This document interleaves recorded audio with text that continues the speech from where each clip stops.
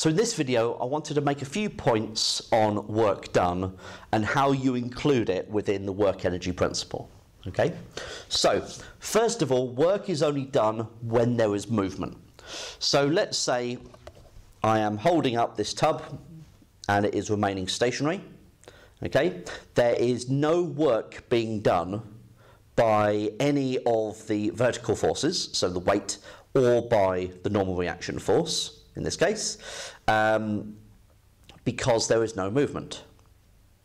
So if I move it, let's just say from side to side, there is still no work being done on the vertical forces, or by the vertical forces, I should say. say. So either by the weight or by the normal reaction force, because work is only done by the component of the force in the direction of the movement.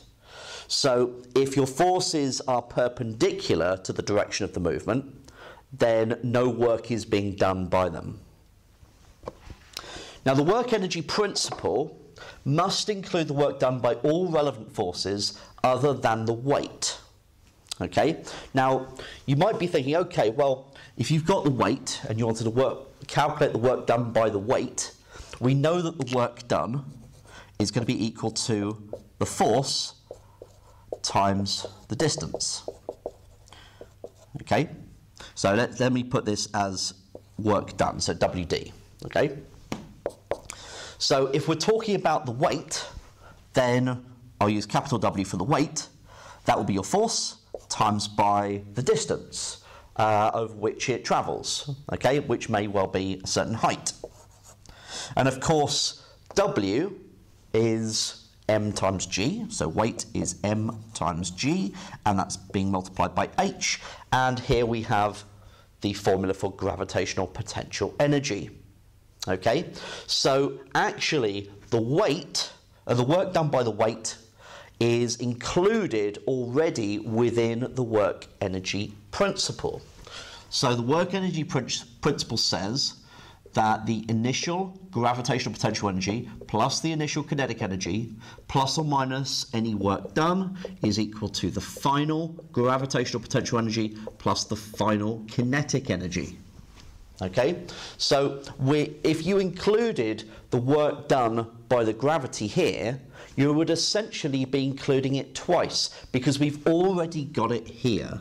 Here's your mgh, which is your weight times h, which is your force times distance. Okay, so this is the work done by the gravity, already included.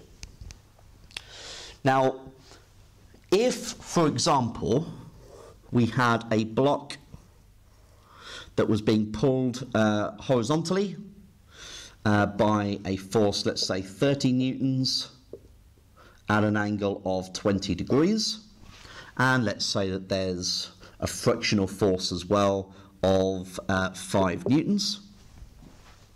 Okay, then when we talk about the work done, so let's say it's over um, 10 meters, say, so it travels 10 meters. Then what we need to do is include the component of this force in the direction of travel. So we're looking at the horizontal component. So that will be 30 cosine 20. So this is your force times your distance. So we would have plus the 30 cosine 20 times by your distance 10. And plus because we're adding energy in, it's being dragged along uh, in that direction. But you've got this constant frictional force of 5 newtons. Okay, so that's going to be taking energy out. And so you've got the work done is this bit that's going in, and remember we're just using the component of that force, take away the frictional force. And that might be also, there might be a uh, air resistance as well, so you could have another force that was air resistance. So another one newton, and then you could have take away one lot of 10. Okay? So each of the forces in the direction of motion must be taken account of uh, when you include when you're um, adding or subtracting the work done in the work energy principle. Okay, so hopefully that clears up some of the concepts around work done. So what we're going to do next is we're going to start looking at A-level maths mechanics problems that can be solved using an energy method, so using the work energy principle.